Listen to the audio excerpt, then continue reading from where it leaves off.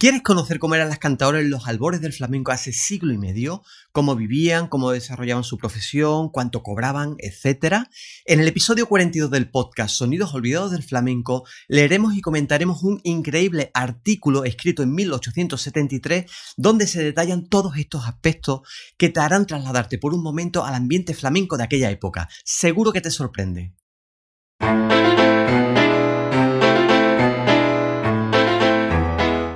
Sonidos escuchados. Sonidos disfrutados. Sonidos bailados. Sonidos relegados hoy al olvido. Pero es posible hacer algo por ellos. Hagamos memoria. Hagamos memoria. Soy José Miguel Hernández Jaramillo y os invito a enrolaros en este viaje por los sonidos, historias, espacios y personajes que formaron parte del flamenco del siglo XIX.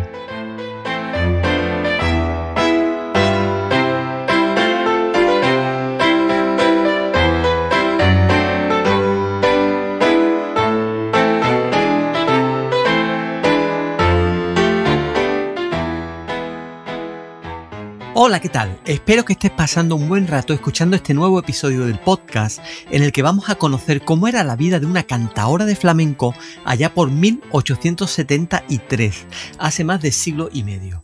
Para ello voy a leer un artículo alucinante titulado La cantaora, escrito por Eduardo de Palacio y publicado el 21 de febrero de ese año 1873 en el semanario El Periódico para Todos. En este artículo, el autor hace una radiografía completa de las mujeres cantadoras de flamenco de aquella época, de cómo vivían, cómo ejercían su profesión y de dónde solían provenir. También se ofrecen descripciones muy detalladas del ambiente flamenco en Madrid, tan solo seis años después de que el flamenco, como tal, comenzara a ser popular en aquella ciudad, y algunos años antes de que eclosionara el fenómeno de la flamencomanía que he referido en otros episodios. Bueno, quiero advertir que como todos los textos hay que tener mucha cautela de no considerarlo como un acta notarial, o sea, quizás no todo lo que se describe sucedió tal cual en la realidad. Cuando analizamos este tipo de textos es muy importante tener en cuenta el prisma desde que la persona que lo escribe, en este caso el andaluz Eduardo de Palacio, está describiendo el hecho que observa. No olvidemos que lo hace desde una posición social hegemónica y esto se percibe por ciertos adjetivos que emplea que deja ver ciertos rasgos clasistas y machistas. Pero lo importante es que describe con detalle ciertos aspectos de la vida de estas artistas, que sin esta narración sería complicado siquiera poder imaginarlo. Bueno, pues voy a leer el artículo casi completo dada la extensión del mismo y posteriormente haré algunos comentarios. Vamos a disfrutarlo. La cantaora. Dicho sea impropiamente hablando, porque la voz técnica es más sencilla, más lacónica y más característica. Cantadora es un término demasiado pulcro que no se usa entre la gente del oficio ni entre los aficionados. Cantaora ya es otra cosa, significa una primadona que canta por los flamencos. La cantaora es un tipo puramente español. Las francesas no podrán llegar a cantaora por más esprit que tengan y por más estudio del natural que hagan. La cantaora es como la golondrina, canta gorjea durante una temporada y desaparece enseguida para mudar de atmósfera. No remonta el vuelo como ella, pero muda de provincia o de local porque es también veleidosa y se hastía de la vida monótona y regular. Necesita emociones para inspirarse, porque la cantaora tiene su parte de poetisa y no se encuentran esas emociones en la pacífica vida de la gente normal y morigerada. El orden destruye la inteligencia y mata los sentimientos, es cosa probada. En el desarreglo de la vida de la bohemia está el manantial de todos los grandes pensamientos. Las más sublimes concepciones del arte se deben a esa parte aventurera de la sociedad, a esa juventud errante que nace, vive y muere sin ocuparse de nada serio, sin pensar en el mañana y sin preocuparse del ayer. ¿Qué nombres tan ilustres puede contar la bohemia entre sus hijos en todos los países civilizados? Pues eso sí, la civilización y la bohemia son inseparables. La segunda no puede desarrollarse ni vivir en un país de costumbres patriarcales, donde todo es trabajo corporal y la imaginación no tiene un momento de laboriosidad, y el espíritu se encuentra cohibido por la pesada atmósfera de la inocencia primitiva, rural. La cantaora es una bohemia de pura raza. La vida es para ella una sucesión de impresiones gratas o desagradables que no dejan impresión en su ánimo, pero que destrozan su cuerpo. No se concibe cantar estando preocupado por el dolor moral, y sin embargo la cantaora canta, y canta mejor que cuando está contenta. Es verdad que dice uno de nuestros refranes castellanos que cuando el español canta, punto suspensivo, y lo que se dice de un español bien puede hacerse extensivo a una española. La cantaora ha de ser andaluza para ser cantaora, es decir, de aquella tierra en que el aire y el sol y la noche y el agua tienen otras propiedades que en el resto de España. Aquella inmensa pila del sentimiento que transmite por medio de sus mujeres la corriente de su poesía y de un superior ingenio. La cantaora no aprende otro oficio, ni sabe más que cantar, pero basta, lo sabe todo, porque sabe conmover a cuantos la escuchan, poniendo el grito en el cielo, como dicen los profanos, y gente sin corazón, que no saben decir una herejía artística. La cantaora es siempre soltera, libre. Podrá querer a un hombre que la ha cantado cuatro verdades, pero la quiera sin compromiso, es decir, sin peligro de boda. Una cantaora con prole sería inverosímil.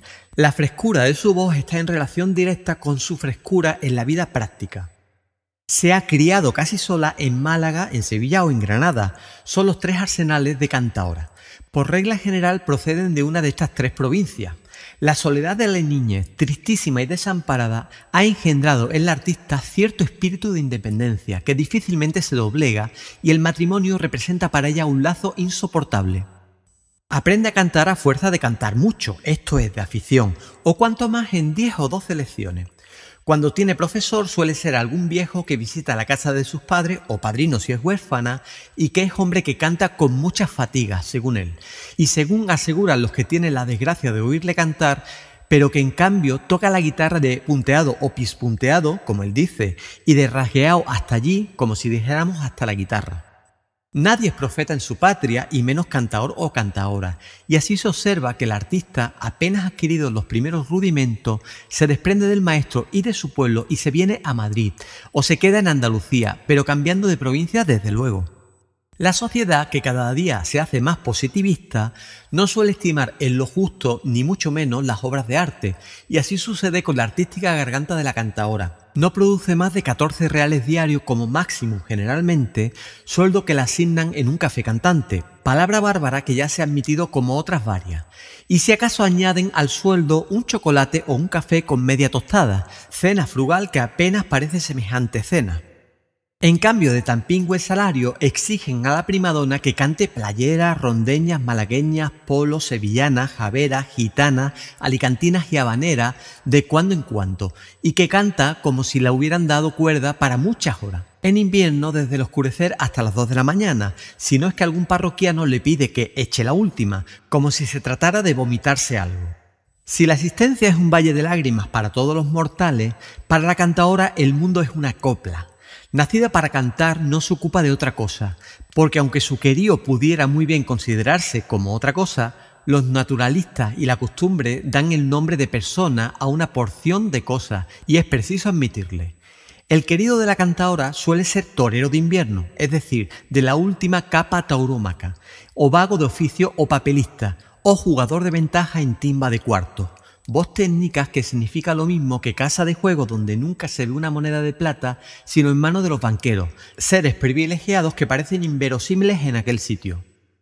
¿Qué es ver en el fondo de uno de esos cafés de canto flamenco a una moza vestida de señora, con alguna flor en la cabeza y pintada al pastel, por regla general con mucho albayalde en los carrillos, mucho negro en las cejas y mucho carmín en los labios, quejándose amarga y eternamente de un dolor desconocido, que tal parece su canto algunas veces, y siempre para los oídos profanos. Al compás de las palmadas, instrumentos naturales con que la acompañan los concurrentes más entusiastas por el arte o por la artista. Entrar en un café cantante y oír aquel estrépito de palmadas y golpear de las cucharillas en los vasos, acompañamiento también muy en uso, produce una impresión tal que haría escapar asustado al hombre pacífico vecino de una aldea tranquila a donde nunca ha llegado ni la noticia de las cantaoras.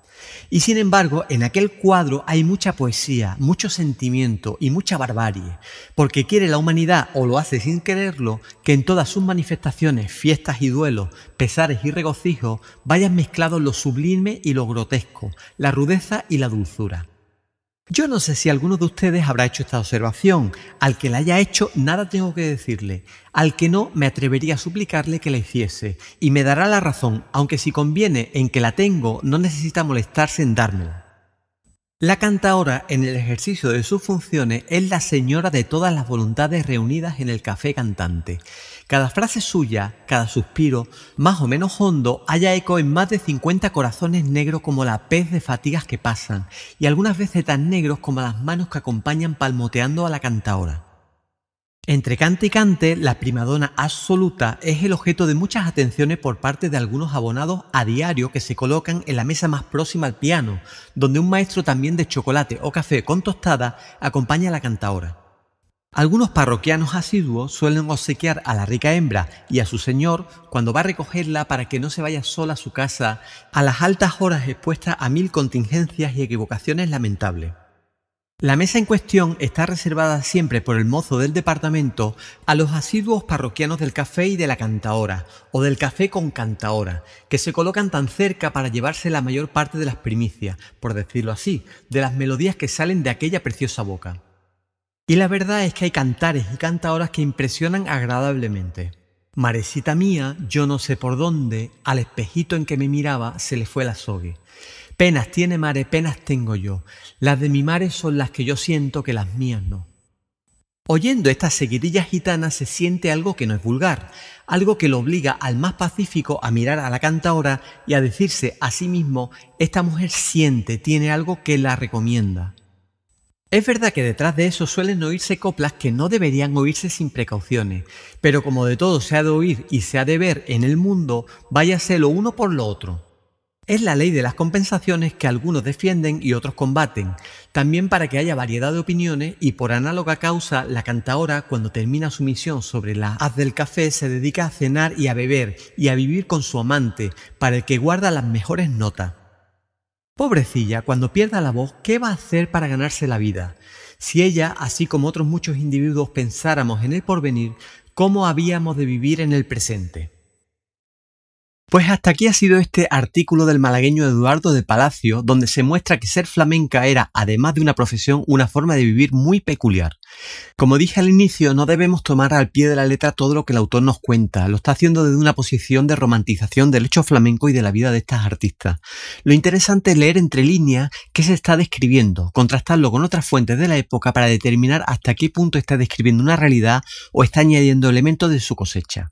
En todo caso, como has podido comprobar, ofrece detalles muy precisos de, por ejemplo, cómo se maquillaban, la presencia de pianos en los cafés, las zonas reservadas que había en los mismos, los horarios en los que estaban abiertos, el salario, etc. Pues espero que te haya gustado este relato y que te hayas trasladado por un momento a aquella época, en algunos aspectos muy diferentes a hoy día, pero en otros no tanto. Por último, me gustaría pedirte que si aún no te has suscrito al podcast, lo hicieras. Nos puedes encontrar en las principales plataformas de podcast y en el canal de YouTube Sonidos Olvidados en Musicología Creativa. También nos puedes seguir y dejar comentarios y preguntas en nuestras redes sociales. Nos vemos de nuevo por aquí en dos semanas.